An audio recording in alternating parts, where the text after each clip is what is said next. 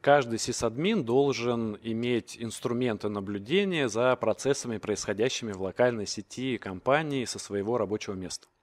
Но постоянно сидеть и смотреть в монитор как сотрудник службы безопасности не будешь, так как есть дела и поважнее. Поэтому система мониторинга должна уметь не только отображать неполадки, а еще оповещать и по возможности автоматически их исправлять. И сделать это позволяет программа мониторинг сети от компании 10 Strike. С помощью непрерывного мониторинга сети она позволяет вовремя узнавать о возникающих проблемах, не доводя ситуацию до критической. Несмотря на название, она позволяет не только мониторить устройства в локальной сети, но и обладает богатым функционалом по автоматизации. Благодаря чему систему можно настроить таким образом, чтобы сисадмин уделял минимум времени на восстановление работоспособности. В программе реализовано большое количество тестовых проверок различных служб и протоколов, что позволяет э, следить как за состоянием серверов и рабочих станций, так и за роутерами, коммутаторами, сетевыми принтерами и источниками бесперебойного питания. В общем, видеть все, что происходит с вашим оборудованием и программным обеспечением. Так вот, в данном видео предлагаю рассмотреть основные возможности программы мониторинг сети и продемонстрировать практический пример задачи, которую она позволяет решить.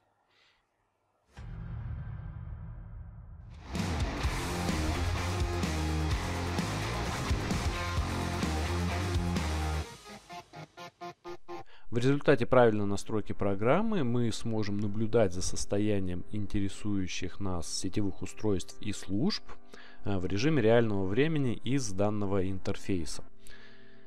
Как вы видите, здесь довольно-таки много различных устройств добавлено, причем э, работа этих устройств отображается вот в формате зеленый цвет означает, что устройство работает и проверка прошла, красный, что проверка не прошла. Ну, тут уже в зависимости от того, какие проверки мы будем создавать.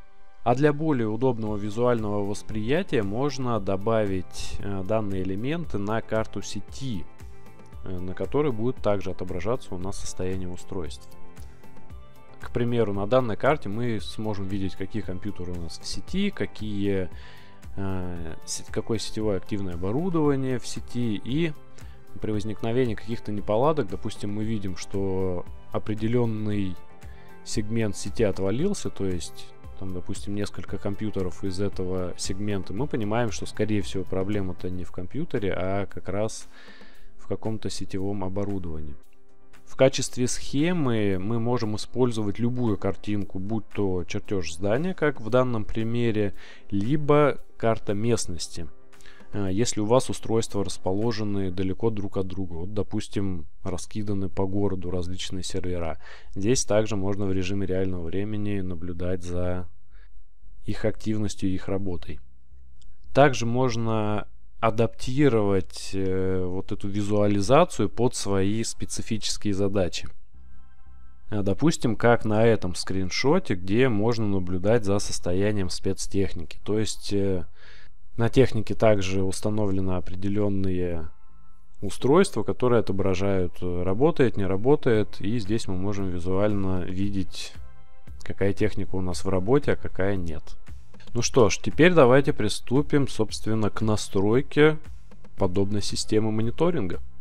И для начала перейдем на сайт разработчика 10 Strike. Э, ссылку вы можете найти в описании к видео, ну либо вот 10strike.ru. И нужно нам добраться до программы мониторинг сети. Поэтому переходим в программы. А, мониторинг сети Pro. Скачать. Скачать. И вот. А, мы не будем использовать веб-интерфейс.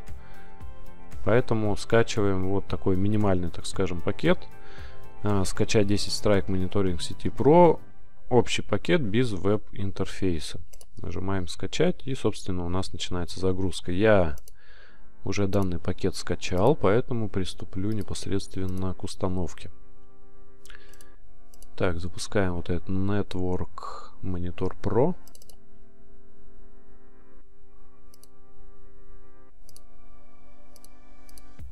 Ну, пока все стандартно. А здесь все выбираем также по умолчанию. Создать иконку на рабочем столе. Да, да, установить. Так, вот смотрите. А, также установщик пытается у нас установить Net Framework 3.5. У него это не удалось, но, собственно, мне это не нужно, так как в данной системе у меня установлен более поздняя версия Net Framework. Но если у вас не установлено, можете установить, если все дело проходит на сервере, э, через добавление компонентов Windows. Так, я это дело закрываю. И давайте вот оставляем галочку «Запустить». Посмотрим, что у нас получится в итоге. Итак, смотрите, как выглядит интерфейс. Как вы видите, здесь автоматически у нас э, была создана проверка. Это пинг сайта google.com. Так, давайте сюда добавим теперь наше устройство. Для этого переходим в сканировать сеть. Э, есть два варианта. Это сканировать диапазон IP-адресов, что рекомендуется, и импорт из сетевого окружения сетевым окружением я бы не стал пользоваться. Почему? Так как в сетевом окружении далеко не все компьютеры могут отображаться, а сканирование диапазона IP-адресов намного надежнее. Выбираем этот вариант, идем далее и смотрите. У меня здесь э, в системе две сетевые карты. Это одна внешняя, которая смотрит в интернет, и вторая внутренняя, которая для локальной сети. Я буду сканировать для локальной сети, поэтому выбираю эту сетевую карту, автоматически подставляется начальный и конечный адрес. А, жму добавить, то есть он будет эти айпишники сканировать. Так, а вот это я убираю. Вообще, э, к данному сетевой карте у меня подключен, получается, через кабель роутер, и там есть какие-то устройства. Но я буду смотреть исключительно, что у меня находится внутри локальной сети, поэтому указываю только локальные IP-адреса. Так, отлично, диапазон адресов у нас задан. Давайте идем далее. Способ обнаружения, ну, оставляем здесь по умолчанию, то есть э, будем пинговать. Поехали. Ну вот, смотрите, у нас было найдено три компьютера. Ну, совершенно верно. Это сервер и э, два клиентских компьютера. Это десятка и семерка. Отлично. Выбираем их все галочками. Идем далее. Как их добавлять? В качестве имени хоста использовать IP-адрес, DNS имя. Ну, давайте э, использовать DNS имя куда будет добавлены. Ну, так как у нас здесь только есть папочка, так скажем, хосты, то добавим сюда. Если у нас будут какие-то другие подветки, то можно выбрать и другие. Кстати, вот добавить только новые. Если вы сканируете, допустим, сеть второй раз и какие-то устройства у вас уже есть, сюда можем указать галочку добавить только новые, чтобы у нас не было дублей. Вот, таким образом. Но так как я делаю это дело первый раз, то можно ее не ставить. Вот, смотрите, автоматически запустились проверочки, и у меня система отображает, что все эти устройства запущены. Давайте посмотрим. Вот у меня десятка запущена. И семерка тоже запущена. Отлично. Все эти компьютеры он видит. А если вот мы нажимаем хосты, то здесь мы видим все проверки, какие у нас забиты. Но отдельные проверки делаются на определенный компьютер. К примеру, если мы выбираем вот этот компьютер, то на него забита только одна проверка. По каждому устройству мы можем, допустим, несколько различных проверок забивать. Но сейчас мы это все дело посмотрим как это делается. Так, давайте посмотрим, как теперь все вот это дело нам отобразить на карте сети. А, переходим на эту кнопочку карта сети. А, так, закрыть. А, вот, у нас отображается пример карты сети, но я им пользоваться не буду. У меня есть специально подготовлен, подготовленная схема здания, на которую я буду эти компьютеры наносить. Поэтому а, создать новую карту. И для удобства мне необходимо сюда добавить как раз заранее подготовленное изображение. Поэтому жмем нарисовать, добавить изображение. Рабочий стол, вот он, чертеж здания. Окей. Там по размерам подгоняем как нам удобнее. И смотрите, жмем правой кнопкой добавить а, хост из базы мониторинга. То есть компьютеры, которые у нас уже добавлены, их перенесем сюда. Вот какие у нас компьютеры. Давайте, собственно, выделим все. Визуально, к примеру, а, Google.com у нас может сигнализировать о том, работает интернет или нет. Можем как-нибудь вот за схему здания вынести этот параметр. И теперь давайте раскидываем, где у нас какие устройства находятся. Допустим, сервер вот здесь, а, десяточка вот здесь и семерка вот здесь. Если мы какое-то устройство выключится, то автоматически появится красный значок. Но это мы чуть позже посмотрим, когда будем тестировать проверки. Собственно, как я и показывал в самом начале, вот таким такой может быть ваша сеть, таким образом можно ее настроить, э, различное количество компьютеров, и вот так у нас отображается, какой компьютер у нас в сети, а какой компьютер выпал. И аналогичным образом можно проверять э, коммутаторы, также принтеры.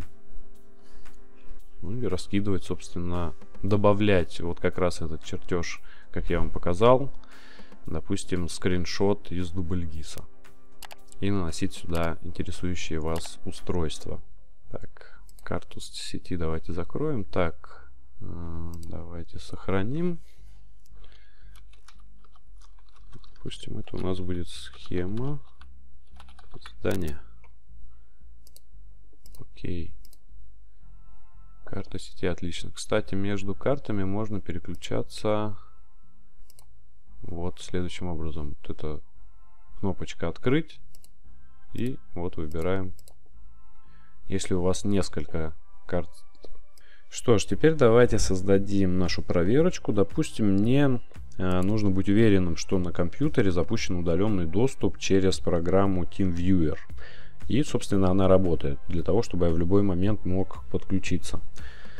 Э, поэтому давайте создадим проверку, которая будет проверять э, работу данной службы.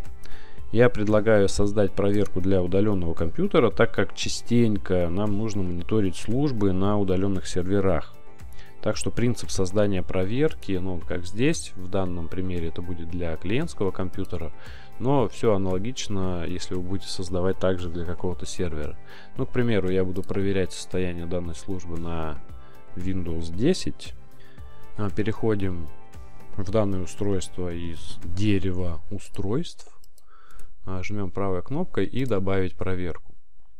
Как вы видите, здесь у нас появляется такой мастер выбора проверок, и здесь их довольно-таки много. Э, в принципе, они вот все разделяются на такие тематические проверки. Это проверки, связанные с сетью, это доступность устройств, э, по пинку, протоколу, далее активное сетевое оборудование, когда мы можем проверять э, коммутаторы, какое у них состояние, смотрите, даже какой порт занимает на коммутаторе. А, журналы и файлы это все, что связано у нас с файлами. Объемы папок, наличие содержимого, контроль размера. Даже вот видите, можем контролировать изменения файлов и папок.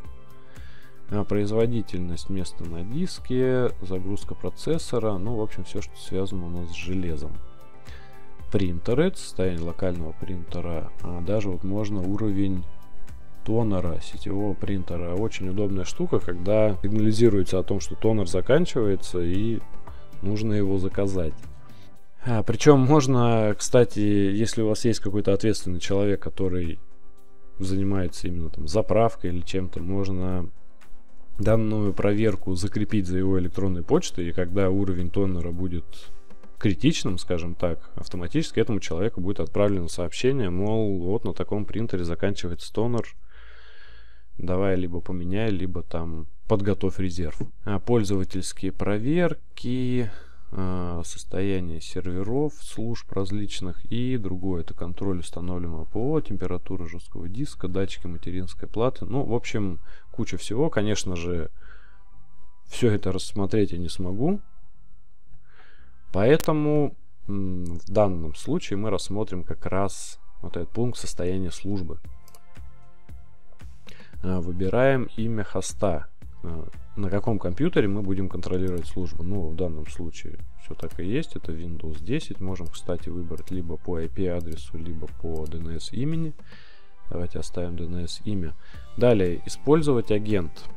Смотрите, бывают ситуации, когда либо из-за брендмаура, либо из-за каких-то настроек э, проверка не проходит, то есть не получается настроить какую-то проверку. Для этого можно воспользоваться вот как раз агентом. То есть у данной программы есть специальное приложение, которое мини, скажем так, приложение, которое вы устанавливаете на компьютере и если возникают какие-то проблемы, можно использовать эти проверки через агент. Это более надежный способ, так как не все параметры можно получить через сеть. А вот, к примеру, такой параметр, как э, контроль состояния жесткого диска Smart, то есть рабочий жесткий диск, скоро он помрет или нет, это нельзя сделать по сети, вот поэтому э, как раз контроль состояния жесткого диска и датчики материнской платы, это у нас информация передается только через агента. В общем, если какие-то у вас проблемы, можете попробовать еще получать данные через агента. Я этого в данном случае делать не буду. А, теперь проверяемая служба. Что мы будем проверять? Так, смотрите, у меня здесь сейчас ничего не отображается, потому что нет данных. А, давайте мы нажмем кнопочку «Заполнить». То есть сейчас э, программа подключится к удаленному компьютеру и посмотрит, какие службы у нее есть. Так, идет подключение. Так, прошла проверка. Вот, как вы видите, теперь у нас довольно-таки такой внушительный список. Ищем службу TeamViewer. Так, вот она. TeamViewer. А, нажимаем кнопочку «Узнать состояние», чтобы проверить, что вообще сейчас с ней происходит. Состояние, служба, TeamViewer запущена. Отлично. Смотрите, сейчас, когда я выполнял эту проверку, система подключалась к удаленному компьютеру из-под учетных данных, где, собственно, данная программа запущена. Ну, так как я залогинен под администратором домена, следовательно, у меня вот все эти проверки прошли, и все отлично. И службы запросились, и состояние мы увидели. А если вы под какой-то другой учетной записью находитесь, либо вот эти проверки у вас не проходят, эм, нам нужно указать нужна авторизация. То есть здесь мы указываем учетные данные пользователя, который точно имеет права на удаленной машине. Ну, как правило, это у нас э, пользователь-администратор. Давайте я тоже укажу, чтобы у меня точно потом никаких проблем с этим не было. Окей, идем далее. Так, ну вот здесь у нас начинается куча различных дополнительных настроек. Давайте пробежимся по ним. Итак, смотрите, зависимости. А, допустим, в нашей ситуации нет смысла включать сигнализацию по неработающей службе, а, если компьютер выключен. Ну, к примеру, а, данная проверка будет запускаться, подключается, получается, к компьютеру и говорит, что служба не запущена. Ну, естественно, она не запущена, если компьютер у нас будет выключен. Следовательно, нам необходимо указать, от какой проверки зависит данная проверка. То есть, смотрите, зависит от проверок и добавим от проверки а, ping Windows 10. То есть, что это говорит? Если у нас данная проверка не проходит, то есть компьютер не в сети, а следовательно он выключен, то данная проверка по состоянию службы TeamViewer не будет запущена. Ну, логично, так как нет смысла проверять службу, если сам компьютер выключен. Ну, то есть сигнализация вот по этому параметру у нас проходить не будет. Идем далее. Ой, нет, не сюда. Так вот. Защита от ложных сигнализаций. Бывают кратковременные сбои, и чтобы сразу не сигнализировать, мы можем указать количество проверок, после а, которой проверка будет считаться неудачной. Ну, в данном случае это указана одна проверка и задержка 30 секунд. Здесь мы можем указать, к примеру, три проверки, и запускаться они будут каждая через 20 секунд. То есть, если все эти три проверки были неудачны, то общая проверка будет считаться неудачной. Если всего одна из трех, то ну, будет считаться как временный сбой, кратковременный.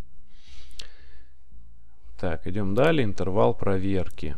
Ну, здесь мы задаем, как часто будет выполняться данная проверка. В принципе, если увидите, что какая-то проверка очень тяжелая и подгружает сеть, можно ее выполнять пореже. Далее, приоритет запуска. Ну, это аналогичная ситуация, как с зависимостями, только здесь мы можем указать, э, сделать э, данную проверку первой в списке. То есть, если мы укажем эту галочку, тогда, если она у нас не пройдет, то другие проверки просто будут не запущены. Ну, в данном случае это делать не имеет смысла. Это, допустим, логично сделать для вот этой проверки.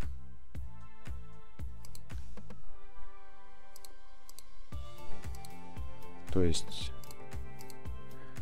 а, если у нас пинг не прошел, то следующие проверки просто не будут выполняться. Но для этой проверки данной необходимости нет, поэтому идем далее. Так, контроль времени выполнения. А здесь проверка будет считаться не пройденной, если время ее выполнения превысит заданное. Контролируется время. Ну, в общем, как-то так указываем время. Если за данное время какого-то результата нет, то она считается непройденной. Но это все уже такие индивидуальные моменты. Далее, непрерывное оповещение. К примеру, у нас прилетает э, нам оповещение в тот момент, когда состояние изменилось с, ну, допустим, с единицы на 0. То есть единица это состояние работает устройство, 0 это не работает. То есть, когда состояние работало, но перестало, нам э, выдается сигнал. И все. То есть здесь мы можем указать данную галочку, если нам нужно каждый раз сигнализировать о том, что устройство не работает. Если оно какое-то, к примеру, очень важное, и вы точно его не пропустили, там отошли куда-нибудь или как-то, то каждый раз при прохождении этой проверки, она когда будет неудачна, вам будет выдаваться, допустим, звуковой сигнал, чтобы вы не забыли отреагировать. В общем, каждый раз будет э, выполняться действие, которое мы далее укажем. Но по умолчанию, если не такая уж важная служба, можно эту штуку убрать. И вообще по умолчанию везде она не указывается, только при переходе из одного состояния в другое. Также это касается и состояния не работает в состоянии работает. А, далее, расписание проверки. Здесь мы можем указать, когда эти проверки будут запускаться. Ну, к примеру, ну вот как здесь указано, нет смысла в выходные, если мы выполняем проверку, а, ну, к примеру, состояния компьютера клиента. Нет смысла это делать в нерабочее время, и поэтому, чтобы разгрузить наш сервер, можем данную галочку указать и вот выставить как раз такие временные промежутки. Ну, давайте пускай так у нас и останется. статистика. Ну, информация о том, хранить ли статистику или нет. Конечно же, хранить. Отображение на графиках. Ну, в общем, как это можно объяснить? А, к примеру, мы хотим увидеть какое-то в режиме реального времени визуальное отображение состояния. Ну, в данном случае, смотрите, у нас будет здесь два состояния. Это либо 0, либо единица. То есть, либо проверка прошла и служба запущена, либо не прошла и служба не запущена. Но бывают ситуации, когда необходимо замерять не просто состояние «да», «нет», а какое-то среднее. Ну, к примеру, это загрузка процессора или а, объем занятого пространства на жестком диске, скорость сети, к примеру. Ну, давайте, если рассматривать с точки зрения скорости сети, рассмотрим вот такой вариант. Вы можете использовать множитель. Смотрите, в чем, в чем суть. А, есть множить, умножить и разделить. К примеру, результат у нас по скорости локальной сети выдается в килобайтах. И, к примеру, если у нас приходит там результат 27 тысяч, нам необходимо килобайты перевести в мегабайты. Следовательно, мы показания, которые нам пришли, можем разделить на 1024. И результат у нас будет приходить уже в мегабайтах. Далее единицы, ой, в мегабитах. Далее единицы измерения мегабит. И минимум-максимум, если сеть у нас, допустим, сотка, то указываем от 0 до 100 мегабит.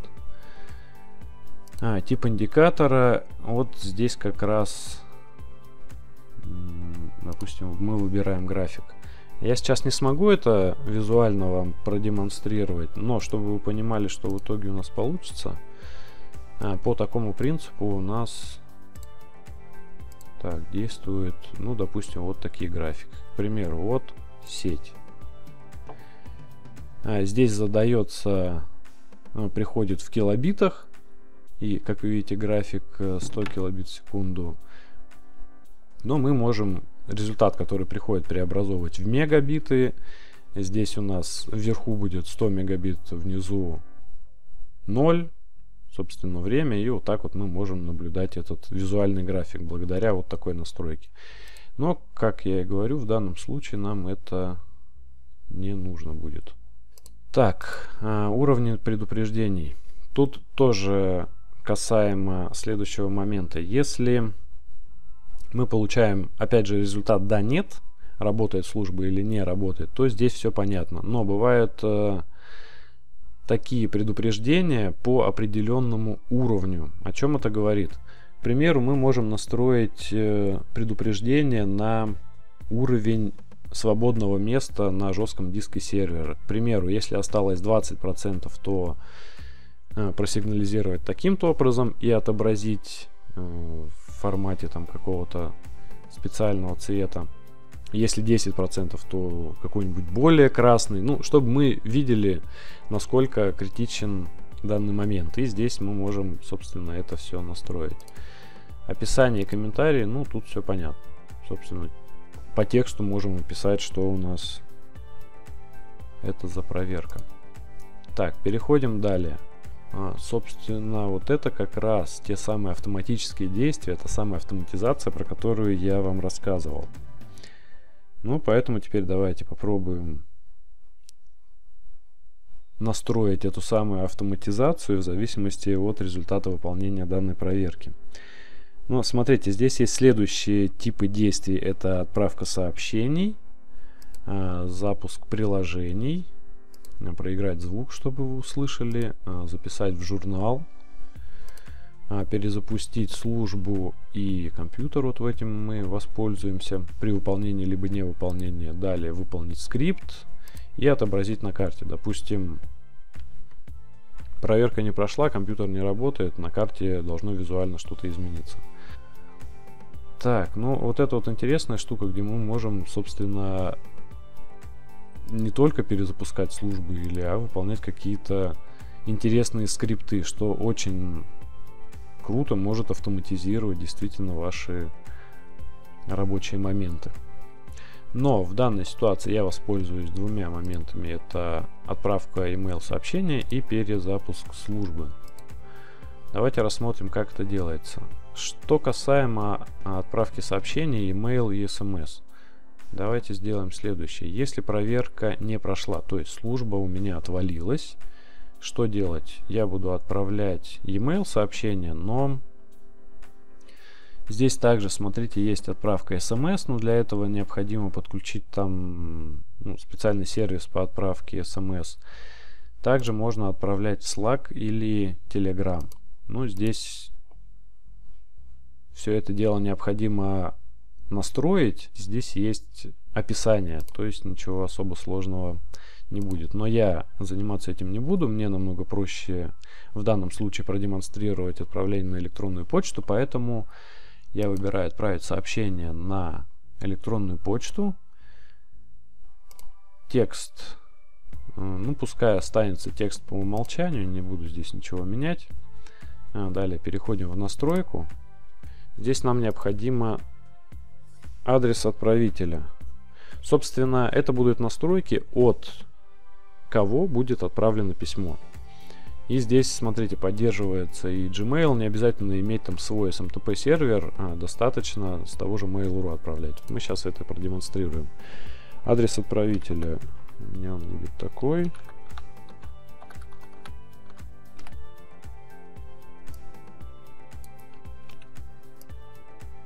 Так, SMTP сервер SMTP Mail.ru. Здесь вставляем все как есть, логин и пароль.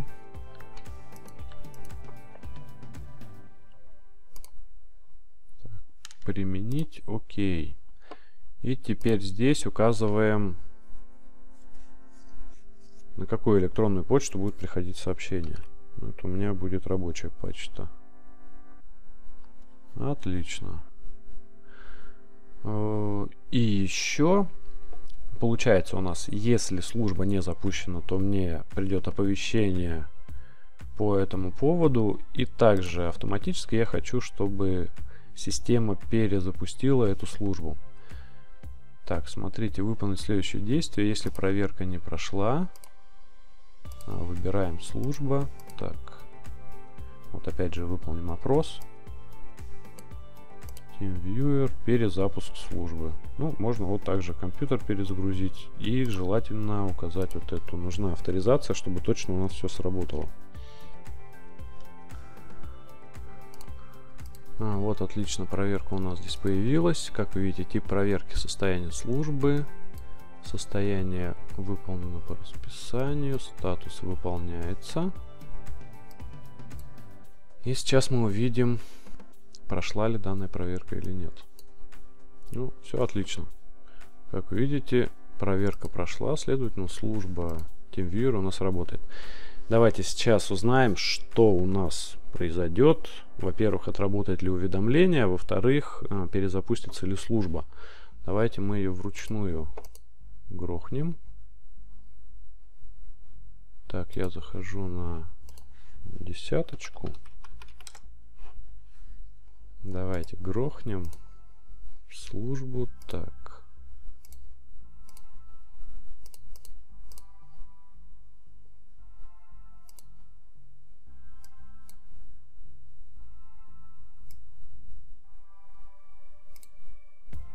Так, TeamViewer 14. Остановить.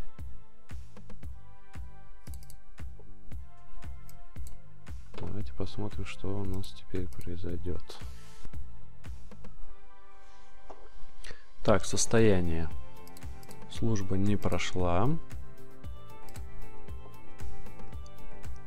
А, давайте посмотрим. Вот, как вы видите, сейчас она выполняется, то есть система автоматически запустила все-таки данную службу. Отлично, автоматизация отработала, теперь ждем сообщения том, что служба у нас отвалилась. А вот и сообщение. Давайте посмотрим. Ну вот сообщение следующего характера. Ну название это 10 страйк мониторинг сети. Alert, то есть внимание, Windows 10, служба TeamViewer остановлена. То есть мы по теме уже можем понять, что у нас произошло. Ну и здесь также, что на компьютере Windows 10 была остановлена служба TeamViewer. Отлично. Как минимум теперь вы знаете, как следить со службами, но там, как вы понимаете, огромное количество вообще различных проверок, которые можно настроить. И вот эта тема со скриптами очень сильно помогает автоматизировать. Как вы видите, с помощью программы мониторинг сети можно настроить огромное количество различных проверок быть в курсе всего, что происходит в компании и своевременно, а порой даже заблаговременно реагировать на возникновение сбоев. Кроме того, можно вообще минимизировать свое участие в решении той или иной проблемы за счет автоматизации. Ну а на этом все. Спасибо за внимание и до новых встреч!